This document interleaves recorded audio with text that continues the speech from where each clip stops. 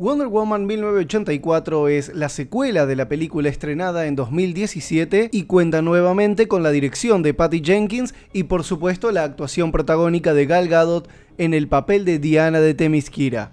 También salen Kristen Wiig, Pedro Pascal y Chris Pine repitiendo el rol de Steve Trevor, pero ¿cómo es que funciona eso? Spoilers. Como bien lo indica el título, Wonder Woman 1984 está ambientada en el año 1984, pero esta película es mucho más que simplemente una película más ambientada en los años 80. Como todo lo que hemos visto en esta última década donde han hecho uso y abuso de las referencias. Bueno, en esta película se utiliza el espíritu ochentero, pero de otra forma. Hay algo que la gente no le termina de entrar en la cabeza y es que esta no es una película de los ochentas.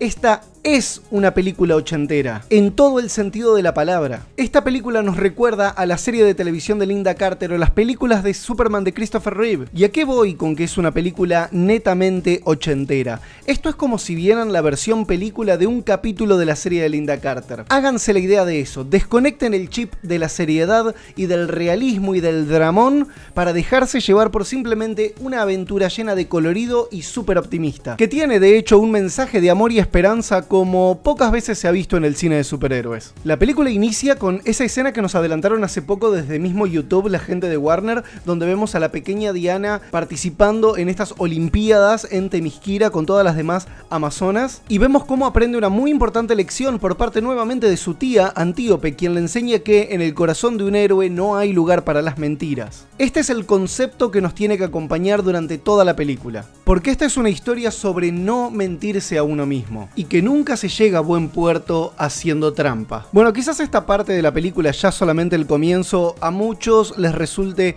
incoherente respecto a la película anterior, porque habíamos visto a Diana crecida, medio de adolescente, y la madre descubriéndola que estaba entrenando escondidas y que ahí la regaña, y bueno, y después le pide a Antíope que le entrene mucho peor que el resto de las Amazonas, etc. Y aquí vemos a la misma actriz que hace de Diana cuando es chiquita en la primera película, pero acá tiene claramente tres años más porque, bueno, creció la chica evidentemente. Entonces podríamos interpretar como que es esa misma preadolescente que le acaban de dar permiso para poder comenzar a entrenar. Vamos a interpretarlo así porque si no nos vamos a volver locos. Además hay otro detalle que no hay que olvidar. Patty Jenkins cuando estaba rodando esta película y publicaron las primeras imágenes, ella dijo públicamente, prepárense para ver algo totalmente distinto a la película de 2017 y que justamente eso era lo que más le gustaba de las películas de DC Comics, que podía convivir el Joker con Shazam, con la Liga de la Justicia, con Wonder Woman, con Aquaman y que sean películas totalmente distintas entre sí y que no necesariamente tenga que haber una bendita conexión de un universo compartido como hace la otra compañía. Después de esa escena inicial que es medio a modo de flashback, saltamos al año 1984 y aquí es donde nos hacen una postal increíble de la época. Y esto es algo que no es para nada menor. Esta película nos transporta al año 1984 meramente por la estética, el arte, los vestuarios, los peinados, la ambientación. No suena Triángulo de Amor Bizarro como si era el tema del tráiler y todos pensábamos que iba a ser el tema de la película. Al final no suena en todas, ni siquiera en los créditos. Tampoco hace falta que nos pongan un hit de Michael Jackson. Ni que esta sea una película que al igual de tantas otras recurran al camino fácil de meternos la película por los oídos con el mismo compilado de Greatest Hits que venimos escuchando siempre. ¿Cuántas películas mediocres nos han metido por los oídos para que simplemente cuando la estés viendo digas, ¡ay, qué lindo! Porque suena una canción que, que conozco porque escucho en la radio Aspen. Y mira que tengo varias en esa lista. Por eso digo, esta no es una película sobre los ochentas, esta es una película ochentera. Y lo voy a seguir repitiendo hasta que se les meta en la cabeza. Durante esta escena de introducción de la época conocemos al personaje de Pedro Pascal Maxwell Lord, que es básicamente la caricatura del charlatán. Tú puedes lograr todo lo que deseas con solo desearlo, porque mírame qué exitoso que soy. A ver, ¿en cuántos lugares hemos visto esta parodia a personajes tipo Jordan Belfort del Lobo de Wall Street, ¿no? Estos tipos que dan estas charlas motivacionales de mirá cómo yo conseguí este yate sin haber estudiado nunca nada, solamente con mi mente y con desear las cosas. La típica, ¿no? El secreto, bueno, todos los charlatanes del éxito financiero, etc. El tema con este personaje es que desde el tráiler, desde el arte conceptual, yo por lo menos creía que se trataba de una parodia a Donald Trump, principalmente por el aspecto del personaje, ¿no? El jopo rubio, el look de traje haciéndose el langa en televisión, etc etcétera, pero medio como que sí, medio como que no. Ya llegaremos a eso. Luego de ver el spot publicitario de este charlatán, nos ponen en el shopping mall, el típico shopping mall ochentero, con todos los elementos típicos del shopping mall. Y vemos a Wonder Woman detener a unos ladrones que querían robar una joyería, que en realidad la joyería es simplemente una fachada de unos traficantes de antigüedades. La verdad que la escena de apertura de cómo Wonder Woman salva el día en el shopping mall es súper campy, es súper caricaturesco y la verdad que a mí me fascinó. Hay gente a la que quizás esta película le pueda dar vergüenza ajena porque la película tiene estas cosas súper exageradas que son típicas de cómo se retrataba a un superhéroe, principalmente en los años 70 o en los años 80. Y mucha gente eso no le va a gustar, la gente va va a ir a ver esta película diciendo, uy, qué copado los 80 voy a ver muchos eh, easter eggs y canciones clásicas y esto va a ser súper genial, como Ready Player One. Esto no es Ready Player One, esto es una película de los 80 No te ibas a poner a buscarle lógica o realismo extremo a las películas campichonas de aquella época. Bueno, ese es el chip que se tienen que poner antes de ver Wonder Woman 84, ¿ok? Bueno, ya sabemos que Diana Prince trabaja en el Museo Smithsoniano, eso lo vimos ya en la Liga de la Justicia. Bueno, nos lo dieron a entender varias veces que ella es experta en lo que es arqueología, artefactos antiguos, artefactos mitológicos, etcétera, etcétera. Entonces, estos objetos que estaban robando estos ladrones de esa no joyería terminan naturalmente en el Museo Smithsoniano, donde Diana y los demás especialistas en antigüedades tienen que determinar qué tan viejos son esos artefactos, de dónde son, qué tan costosos eran y toda la cosa. Y acá es donde conocemos a Bárbara Minerva, interpretada por Kristen Wiig, y es también el estereotipo de la chica loser de los 80, ¿no? Con, con, los anteojos grandes, con la ropa toda desalineada, el pelo desalineado, poco atractiva, super nerd, o sea, súper inteligente, pero sin el atractivo, es medio torpe, se le cae todo. Es la caricatura de la chica loser de la película de los 80. Podríamos comparar el estereotipo con Betty la Fea, ponele. Bueno, resulta que entre los objetos que rescataron y que mandaron a ser estudiados en el museo, hay una piedra que cumple deseos. Sí, magia. ¿Ok? Una piedra que cumple deseos y ya está. No le busquemos ni lógica, ni realismo, ni nada. Entraron a ver la película equivocada si están buscando eso. Pero resulta que esta piedra cristalizada antigua con unos garabatos escritos en latín tienen truco, así como la vieja mano de mono, ¿se acuerdan? Entonces por cada deseo que se pide hay algo que se pide a cambio, ¿no? Esto nos recuerda un poco, ¿no? Bueno, a lo de la mano de mono o a la película Wishmaster, ¿se acuerdan de esa peli? Estaba buena. El tema es que entre broma y broma, tanto Bárbara como Diana piden, terminan pidiendo un deseo a esta piedra y bueno, resulta que la piedra mágica parece funcionar. Y eso lo sabe el personaje de Pedro Pascal, que está obsesionado buscando la piedra, que estaba involucrado con los ladrones y quien seduce a Bárbara para poder hacerse con la piedra. Porque resulta que este mega ganador langa súper exitoso al final está totalmente quebrado y endeudado hasta las orejas. Bueno, hasta acá la premisa de la historia, que es básicamente el no engañarse a sí mismo, el cómo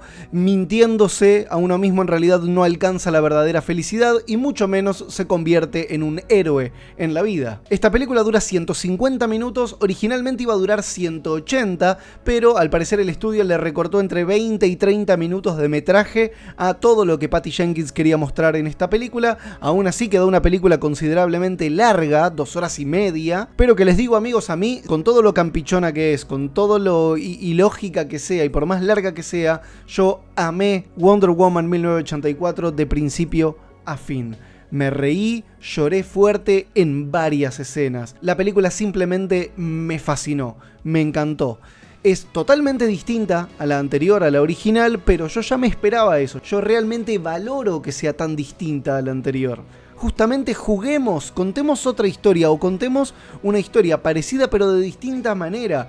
Eh, tenemos un personaje antiquísimo que hace poco cumplió 80 años, que es la Mujer Maravilla. Bueno, vamos a aprovechar y vamos a ponerla en toda clase de situaciones que eh, la cinematografía nos permita. Entonces, ya tuvimos la película seria, con la Primera Guerra Mundial, con todo este drama bélico, antiguo, eh, con el origen aparte de ella y todo. Bueno, ahora hagamos algo más del espíritu de los o de la serie de televisión clásica, con mucho color, aventura, risas, comedia, romance y simplemente un mensaje bonito, esperanzador y optimista para una época en la que todo el mundo está deprimido con ganas de matarse. Miren, con todo el respeto y enorme cariño que les tengo a Ben Affleck y a Henry Cavill, yo tengo que decirles que es Gal Gadot. De la misma forma que Christopher Reeve es un ícono. De la misma forma que Michael Keaton como Batman es un ícono. De la misma forma que la propia Linda Carter es un ícono, como la Wonder Woman de los 70s. Gal Gadot con esta película en particular, para mí se termina de coronar como un personaje icónico y que automáticamente te hace sentir como un niño otra vez. Durante toda la película lo que más pensaba yo en mi mente era, si yo fuera un niño de 10 años en el cine viendo esto, o una niña de 10 años en el cine viendo esto, estaría flipándola en colores. Y se convertiría automáticamente Wonder Woman en mi superheroína favorita. Así de simple, así de inspiradora y así de positiva es la energía que transmite esta mujer. Y ustedes saben que yo no soy un enorme fan de Zack Snyder, lo respeto, lo banco, me gustan algunas de sus películas, pero no podemos negar el ojo clínico que tuvo para elaborar el casting y poner a Gal Gadot en, este papel. Ella nació para ser Wonder Woman y no hay discusión de eso. Lo vengo diciendo desde que vi Batman v Superman. El elemento del amor y del romance es también un punto muy importante en la historia, en la trama, y vemos desde el principio cómo Diana está como negada al amor después de haber perdido hace sesenta y pico de años a su gran amor, Steve Trevor, ¿no? El primer hombre que ella conoció, el primer hombre eh, naturalmente de quien se enamoró. Y que bueno, spoiler alert, sabemos que al final de la película de 2017, él se sacrifica y muere. ¿Se acuerdan? Yo salvo el día, pero tú salva el mundo. Ah, ¡Qué lindo! Desde el inicio de esta película nos dan la pauta de cómo ella está como cerrada a la idea de volver a enamorarse. Vemos como los hombres de forma súper educada y súper respetuosa se le intentan acercar y ella rechaza a todos por igual, porque hay algún desubicado que se le acerca de una forma no tan respetuosa, pero ella los rechaza a todos por igual, hasta un tipo que simplemente quería compartir el taxi con ella. No, nada, no quiere saber nada con los hombres. Sin embargo, añora el romance, ve a las parejitas, sale a comer sola y ve a las parejas juntas y los mira y sonríe. O sea, por más que seas una amazona inmortal súper fuerte, el corazoncito es el corazoncito y el amor es el amor. Y ese es el costado humano que nos presentan de Wonder Woman. Incluso una amazona, hija de Zeus, inmortal, necesita el amor de un hombre común, un hombre de carne y hueso, normal, común y corriente, que le baje los pies a la tierra. Bueno, ya les mencioné que la película es muy campi y por momentos telenovelera, ¿ok? Bueno, no por nada les estoy diciendo que esto evoca a la serie de televisión de Linda Carter. Hay algo muy gracioso cuando piden los deseos a la piedra, hay como un vientito que pasa y me recordó a la Rosa de Guadalupe, ¿viste? Cuando se les cumple justamente el milagro y es como... Es parte de este chiste. ¿Saben a qué me recordó también? A la película Quisiera ser grande con Tom Hanks, donde simplemente es un niño que se convierte en adulto porque pidió un deseo a una máquina en una feria. Y uno dice, ¿dónde está la lógica de eso? No hay lógica. Es una película, andá y disfrutala y ya está, reíte, soñá. Es como ver un cuento de hadas. Toda la, la cuestión de lo del deseo que hay en esta película es eso, es fantasía al 100%. Si estás con eso en mente, no la vas a pasar mal. Volviendo al tema de la música, no hace falta que suene un solo tema. Como les dije, la película ya nos transporta a los años 80 y además a lo largo de toda la película tenemos el alucinante soundtrack de Hans Zimmer que no nos deja en silencio en ningún momento. Y les digo, la banda sonora es increíble. Está disponible en Spotify, escúchenla y si ven la película, dense cuenta, suban el volumen. Hay hasta una música bien bajita y minimalista en algunos momentos, pero es la magia de Hans Zimmer que nos hace olvidar que no estamos escuchando, ay, no hay ningún hit, no, no hace falta. De hecho, a lo largo de toda la película, Patty Jenkins no está yendo a lo seguro y eso es motivo por el cual están criticando muchísimo a la película. Por otro lado, no sé qué tan contentas quedarán las feministas de la platea ya que Wonder Woman es bien romántica, bien heterosexual, bien eh, dulce y tierna y siempre busca ante todo redimir al hombre y no simplemente castigar al hombre. Y se resalta muchísimo cómo cuando está el amor de su vida delante de ella, se derrite, por más que sea la mujer más poderosa del planeta. El amor del hombre indicado le gana a todo lo demás y eso quizás no le guste a todo el mundo. A mí me encanta, obvio. Yo creo que en el año 2020 que tengamos una película que tiene mucho girl power, pero que tiene una ausencia absoluta del feminismo tóxico que ya nos venimos fumando en Birds of Prey, La Capitana Marvel, Las Casas Fantasmas, Los Ángeles de Charlie y un largo etcétera, es sin lugar a dudas un bálsamo. Patty Jenkins y Gal Gadot son referentes de este feminismo no tóxico que busca hermanar y unir con amor tanto a hombres como mujeres, niños y niñas, sin distinción y que no buscan ese separatismo espantoso, diabólico, que buscan ciertos movimientos. Y si en la película nos muestran tipejos, borrachos, abusadores, hombres que utilizan a las mujeres, hay hombres malos en esta película, pero cuando lo ponemos en la balanza, hay más amor por los hombres que críticas en realidad. Y uno de los mensajes de la película es que hasta el hombre más malo puede ser redimido y en su corazón encontrar algo de bondad. Y ver eso, les digo, en esta época yo lo sentí como una caricia al alma. La película tiene un mensaje muy esperanzador. Y ese mensaje en una época donde la gente está tan superficializada con la inmediatez, con eh, las modas y con la ostentación de, redes sociales, yo creo que es un mensaje súper necesario y súper positivo. Bueno, la película tiene algunos errores de continuidad, tiene unos cuantos huecos argumentales, pero como les dije, es una película ochentera. A ver, les voy a poner un ejemplo. Bueno, aparece Steve Trevor, ¿ok? Steve Trevor está en los trailers, no es un spoiler.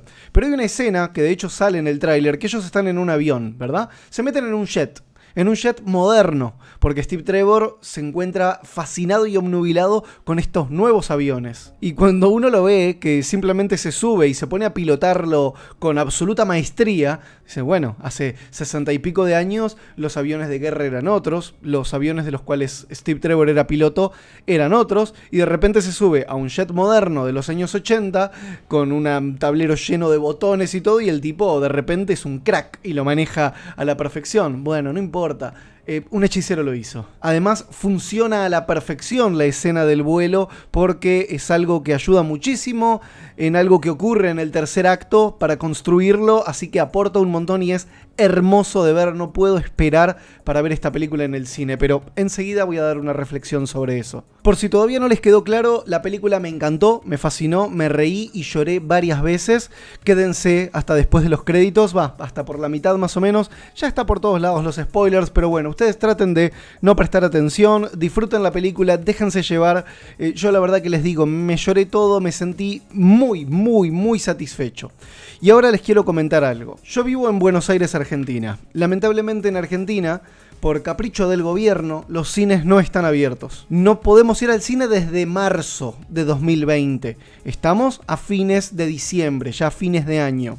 No hemos podido ver nada, absolutamente, ni Tenet, ni ahora Wonder Woman, absolutamente nada a lo largo y a lo ancho del país. Han abierto casinos, han abierto teatros, eh, se ha hecho un multitudinario funeral para Maradona, con todo el negraje ahí amontonado, gritando como simios, contagiándose el coronavirus al pasarse los cartones de vino de boca en boca, pero los cines no se pueden abrir. Los shopping mall también están abiertos, etc. Pero los cines no se pueden abrir. Tampoco tenemos HBO Max, cosa que tampoco me convence ni me resulta una compensación de no poder ir al cine.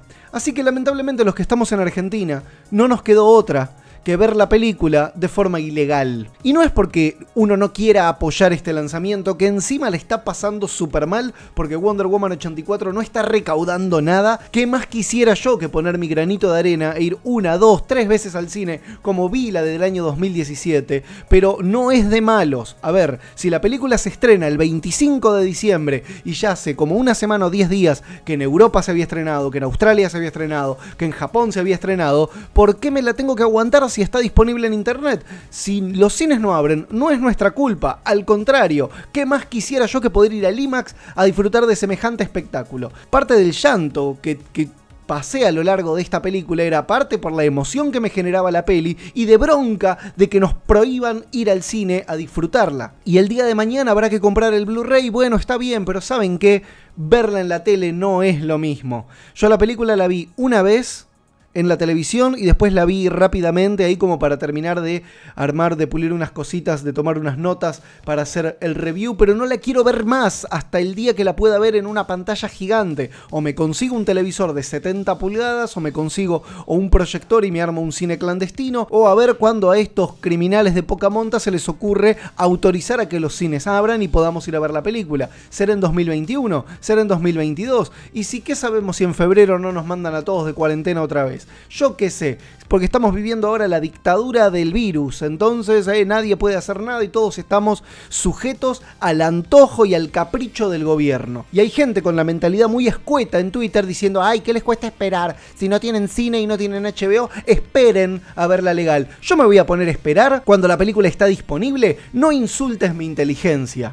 ¿Qué más quisiera que apoyar la película pagándola de forma legal? No tenemos la posibilidad en este país de porquería en el que estamos varados. Yo soy el primero en decir vayan al cine, paguen entrada, no recurran a la piratería. Pero ahora no nos dan otra opción, no nos dan otra alternativa, nos empujan a conseguir la película de ese método. ¿Qué le vamos a hacer? No es nuestra culpa, es culpa del gobierno. En fin, hasta acá el video, no tiré ningún spoiler, ¿ven cómo me porté bien? Yo lo que quiero saber ahora es ustedes qué opinan de Wonder Woman 84. Por favor, déjenlo en los comentarios. ¿Les gustó? ¿No les gustó? ¿Les resultó malo el hecho de que sea campichona? ¿Les molestó no haber escuchado ningún hit ochentero? Lo que sea, por favor, déjenlo en los comentarios y abramos el debate que para eso estamos. A mí me pueden seguir en las redes sociales, Instagram, Twitter, en Facebook ya no tengo más. Ya saben que si les gusta el cine, la cultura pop, los videojuegos y todas estas nerdeadas, se tienen que suscribir a Protocultura y activar la campanita para que YouTube les avise cada vez que subimos un video nuevo o estamos transmitiendo en directo.